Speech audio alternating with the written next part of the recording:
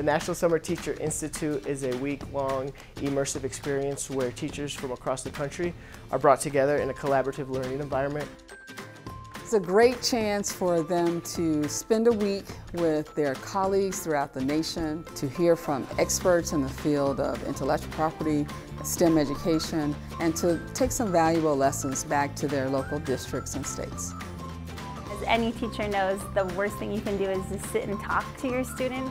And so I feel like the USPTO did a really good job of helping us with some hands-on activities and some risk-taking that maybe teachers aren't always comfortable doing and kind of getting out of their comfort zone. We've been learning about the different types of intellectual properties, patents, trademarks, copyrights and trade secrets. We're just excited about the information that we can take back to our schools to pass on to our students.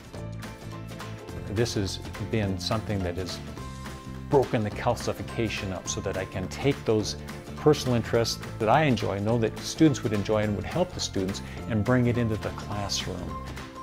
Our students want to learn, but if they do not see the relevance of what you're teaching them, you see apathy. USPTO Summer Teacher Institute introduced me to real-world connections that bring relevance to the content that I teach teaching.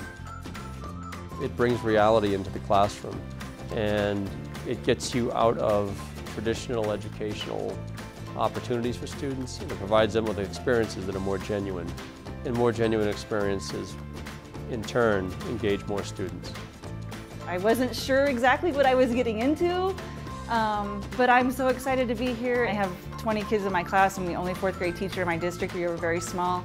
And I get to take, you know, big things back to my classroom and my kids can, can have the advantages that kids in big schools have.